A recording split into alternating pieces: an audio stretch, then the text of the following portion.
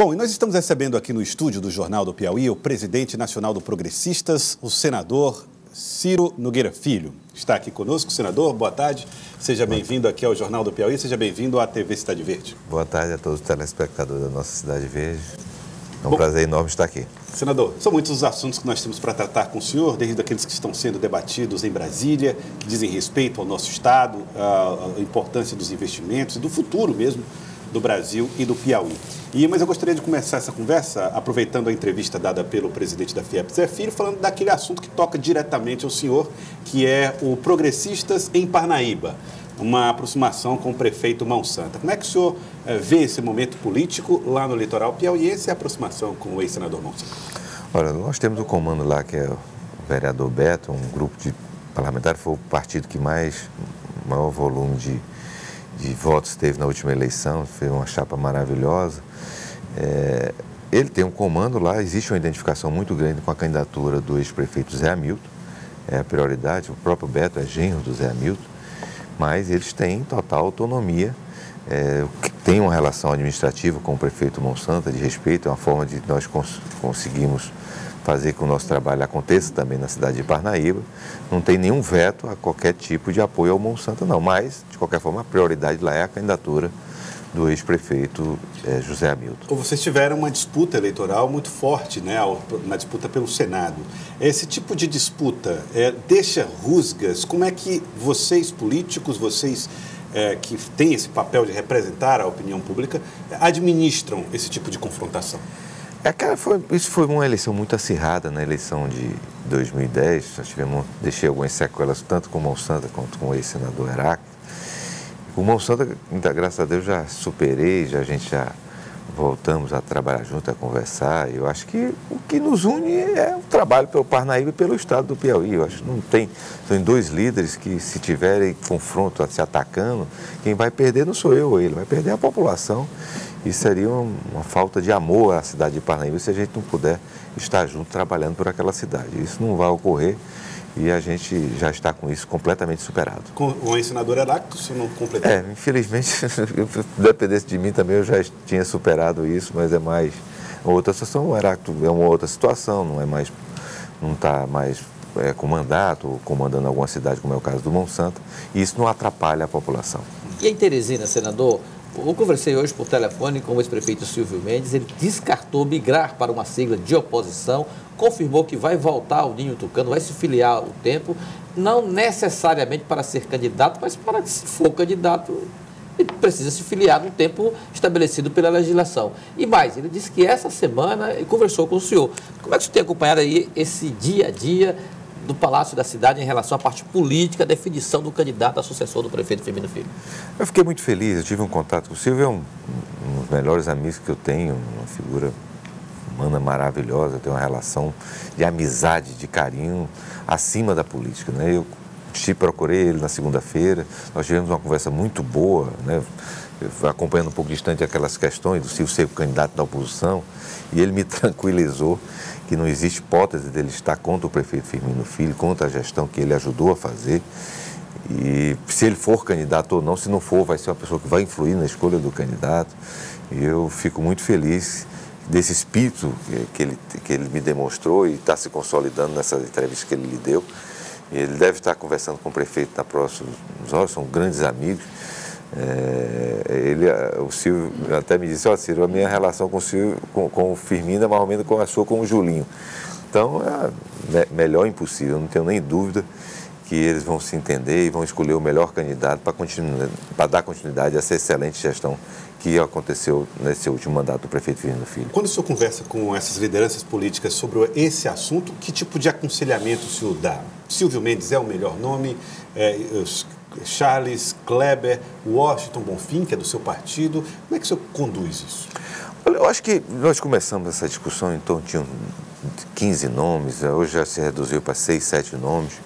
Né? Eu acrescentaria aí o, Charles, o Kleber, o Lucianinho, o Fernando. Acho que não sai desses nomes aí que você citou, mas esses não. É, o perfil principal que eu tenho aconselhado, e muito fruto das pesquisas que eu tenho tido acesso, é alguém que demonstre à população que tem capacidade de continuar a gestão da prefeitura.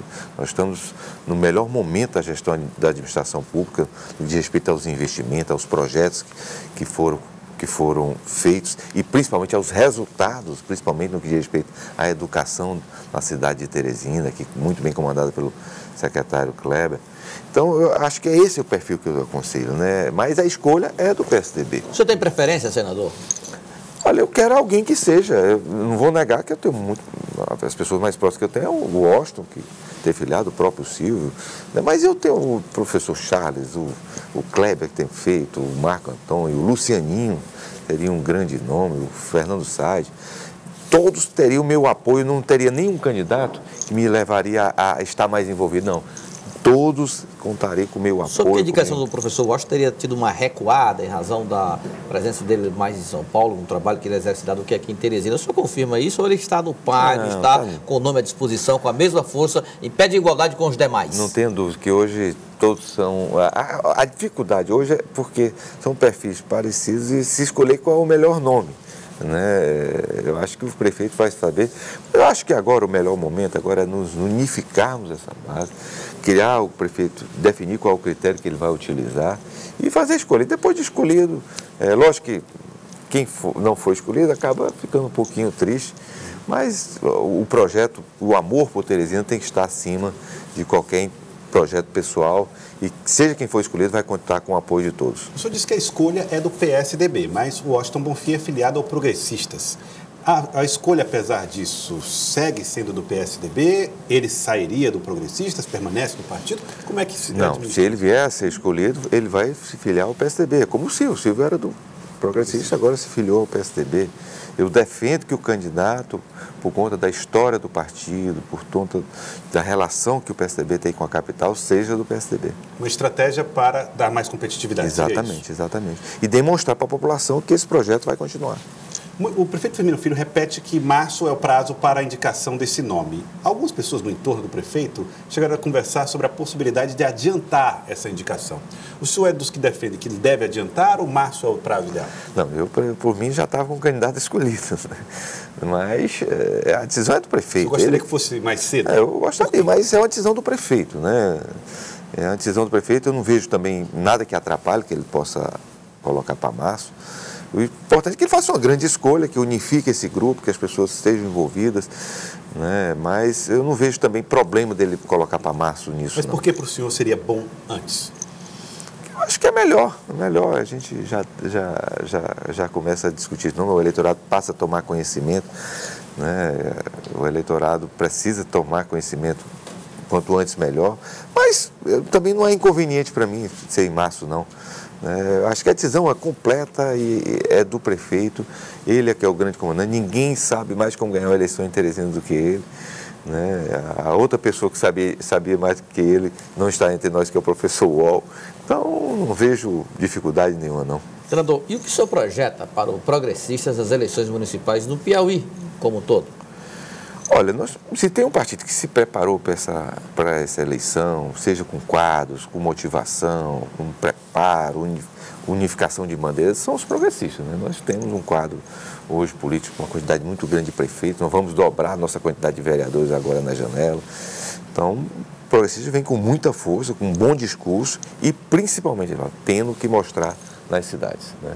Então, se teve um partido que tem obras, que tem é, realizações, é, são os progressistas em todas as cidades do Piauí. Bom, vamos ao cidadeverde.com, lá está Lídia Brito, que vai também participar dessa entrevista conosco. Boa tarde, Lídia Brito. Boa tarde, senador Joel Celivaldo, boa tarde a todos. É, senador, o senhor falou aí do seu apoio ao candidato que o prefeito Firmino Filho escolher, é, e há aí já um, um acordo, uma possibilidade do Progressistas indicar o vice é, desse candidato, né? mas há partidos da base aliadas também interessados em lançar um nome para vice. É, ah, já está fechado esse acordo de que será um nome do Progressistas esse nome do vice? Não, de forma nenhuma e até não existe nenhum tipo de condicionamento do nosso apoio nós indicarmos o vice. O natural é ser do Progressista, porque é o maior partido depois do PSDB. Né? Mas se tiver um nome de um outro partido que venha somar mais, que venha ajudar mais na eleição, né? porque sempre o, vice é uma pessoa para complementar um outro segmento da sociedade, um outro perfil ao candidato a prefeito. Muito mais importante do que o progressista eleger indicar o vice é nós ganharmos a eleição. Então, se tiver um outro nome fora do progressista que seja melhor para ganhar a eleição, que o eleitorado almeje, então não tem, nós não temos dificuldade de apoiar esse nome também não. Senador, o senhor é, falou que aqui para Elivaldo Barbosa que o Progressistas é o partido que mais se preparou para as eleições municipais em todo o estado do Piauí. Qual é a importância que essa eleição tem num degrau de estratégias de olho em 2022? Por exemplo, vencer as eleições em Teresina com este grupo tem que peso para projetos futuros do Progressistas? Olha, sempre ganhar as eleições é uma sinalização boa que o caminho está sendo bem traçado, que você está no caminho correto, que, que, a sua mensagem está chegando ao eleitorado, às pessoas que vão fazer a avaliação. Então, se o progressista sai bem nas eleições, é, um, é uma sinalização muito boa para o futuro e consolidação desse projeto para 2022. Né? Nós vamos trabalhar isso. Eu devo me licenciar a partir de junho do Senado Federal sem vencimento e vou me dedicar. O senhor sai do Senado temporariamente? Vou, vou por quatro meses, sem vencimentos, para me dedicar às eleições e vou estar permanentemente no interior e na eleição da capital. Senador, se o PP se acertar a aliança com o prefeito Monsanto em Parnaíba, eu arrisco até a dizer que progressistas e PT estarão em campos opostos ou medirão forças nas eleições municipais nas principais cidades do Estado. É uma prévia do que poderá acontecer em 2022? Não, são eleições distintas. Nós já tivemos algumas situações na eleição passada que tiveram enfrentamento e estivemos juntos nas eleições estaduais. Então, acho que cabe a mim, ao governador, sabe, definirmos os critérios, como será a nossa participação nessas eleições e para que evitar o mínimo possível, que vai haver embates, vai.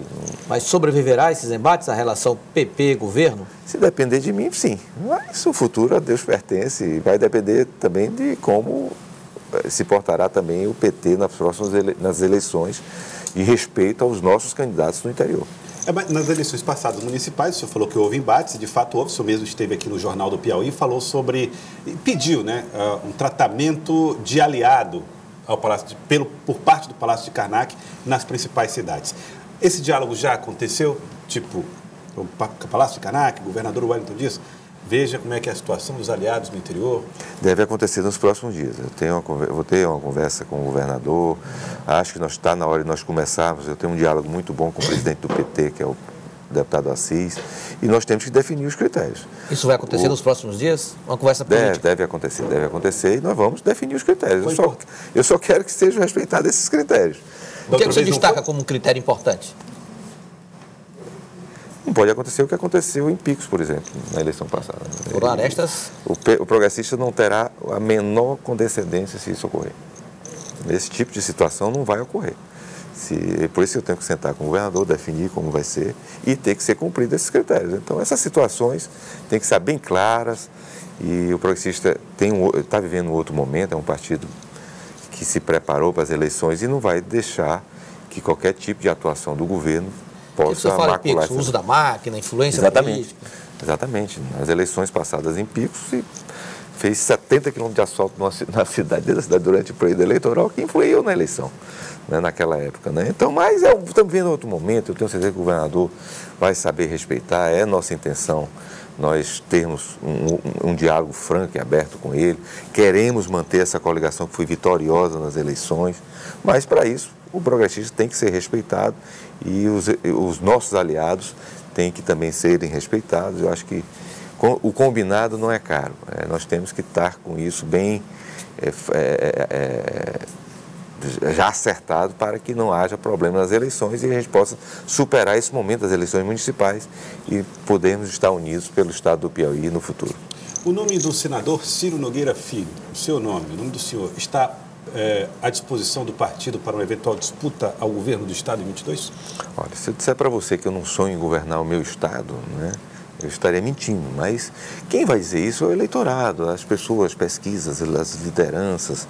É, eu tenho um sonho muito grande de ter o prefeito Firmino Filho no meu, no nosso progressista, que pode ser um dos candidatos. Nós temos candidatos como a deputada Iracema, a deputada Margarete, o deputado Duarte, que tem uma história.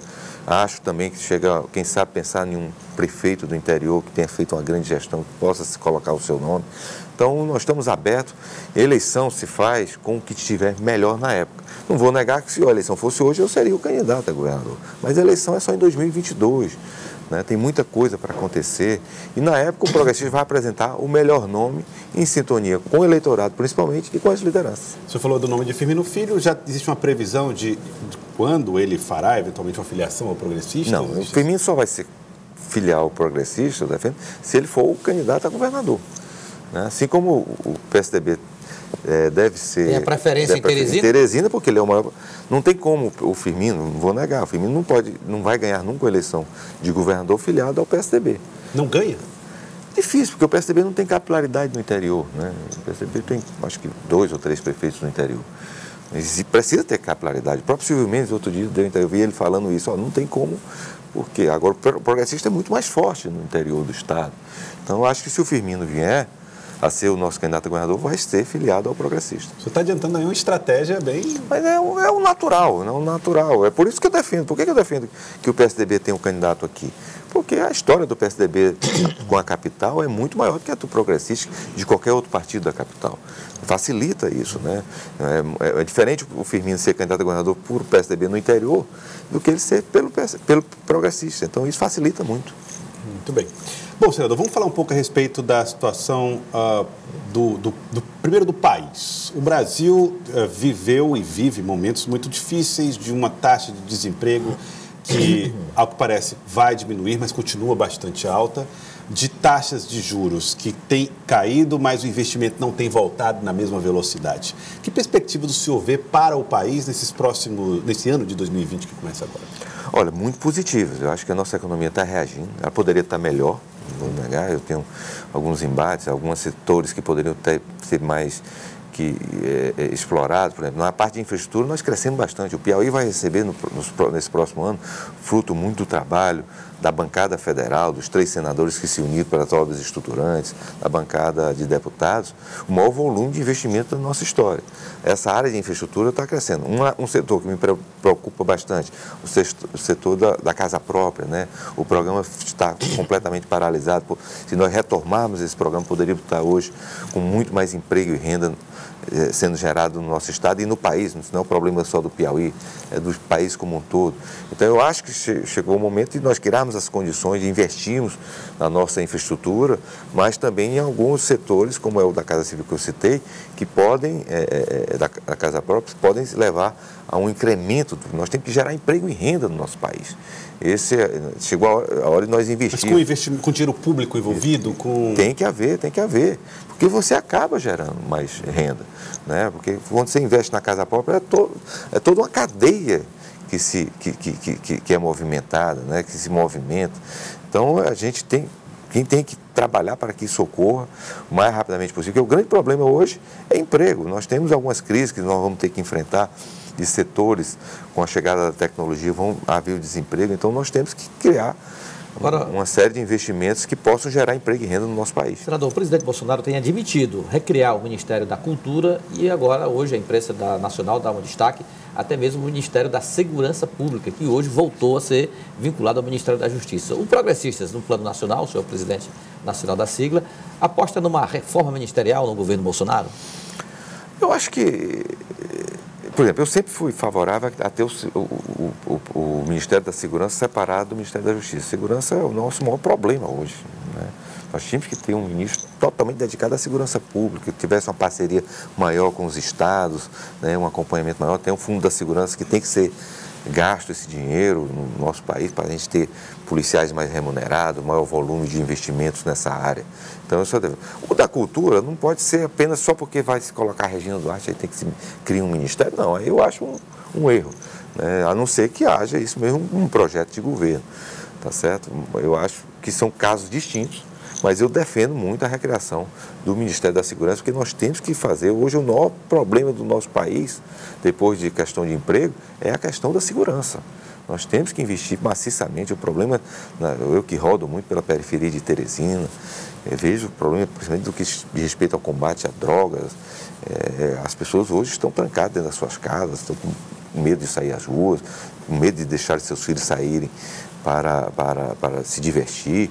Então, nós temos que investir em segurança no nosso país e eu acho que seria um grande feito do presidente retomar a criação do Ministério da Segurança no nosso país. Então, falando a respeito de segurança pública, foi a, a, a, o ministro Luiz Fux é, tomou uma decisão ontem que impediu a criação do juiz de garantias, que foi, um, inclusive, um assunto muito debatido no Congresso, com a participação da deputada federal Margarete Coelho nesse debate. E a decisão do ministro Fux foi interpretada pelo presidente da Câmara, Rodrigo Maia, como uma intervenção inapropriada. Ele disse que foi desrespeitoso, inclusive com o presidente que sancionou a lei e com o Congresso Nacional. O senhor sente tensões entre os poderes, quando diz respeito a algumas questões nacionais, eh, que podem ser prejudiciais no avanço de discussões importantes? O que existe, existe. Muitas vezes nós vemos o judiciário é, usurpando os, os, seus poderes e tomando do legislativo o papel de legislar. Esse é um caso. Esse foi um caso? Esse foi um caso, esse foi um caso. Foi uma lei aprovada, né? foi sancionado pelo presidente da República. E a gente vê, mas eu espero que o Supremo, respeite, é, decisão judicial nós temos que respeitar. Né? É, o ministro deu porque tinha competência para dar essa decisão. Você pode até contestar. Mas eu espero que o Supremo analise isso no seu plenário e possa dar um, o veredito o mais rapidamente possível. O senhor entende que é preciso também que haja uma melhor relação hoje entre o governo federal e o Congresso? Ou ela melhorou? Fica, é um pouco. Nós temos um governo muito inconstante, né? O presidente Bolsonaro, pelo seu perfil, é um, é um homem muito que às vezes cria problemas sem, sem, sem, sem, ter necessidade. Mas nós respeitamos a sua legitimidade, tem feito um trabalho em alguns setores muito importante, principalmente que eu ressaltei uma parte de infraestrutura. Né? Eu, eu, eu defendo que haja um diálogo permanente. Tenho sempre aconselhado ao presidente Davi e ao Rodrigo Maia, que eu tenho muita aproximação, que haja esse diálogo permanente para que a gente possa fazer as coisas no país acontecer. Precisamos ter os três poderes funcionando na sua plenitude e tendo um diálogo permanente. Sobre filiações partidárias, esta semana, geralmente os partidos vão em busca de filiação de um ou dois vereadores, por exemplo. Eu vi o senhor conversando com uma bancada inteira do Patriota. O senhor confirma as filiações dos vereadores? Como vai ficar o Progressistas para disputar vagas na Câmara Municipal aqui em Teresina? Nós devemos filiar os três vereadores que estiveram com a gente. Outros vereadores estão agendados para... Vereadora Graça Morim, por exemplo? Deve né, filiar. A Graça já está certa. Né? Nessa semana nós acertamos três, os, os três, três mais três. Vamos conversar com outros vereadores. Eu acredito que o Progressistas deve se tornar a maior bancada da Câmara de Vereadores da capital. A maior entre todos? Uh, Esse é o que nós estamos, estamos trabalhando. É. Tá, então. Quero agradecer ao senhor, presidente do Progressista, senador Ciro Nogueira. Muito obrigado pela participação conosco aqui no Jornal do Piauí. Eu que agradeço. É um prazer enorme estar aqui de volta. Muito obrigado, senador Ciro Nogueira.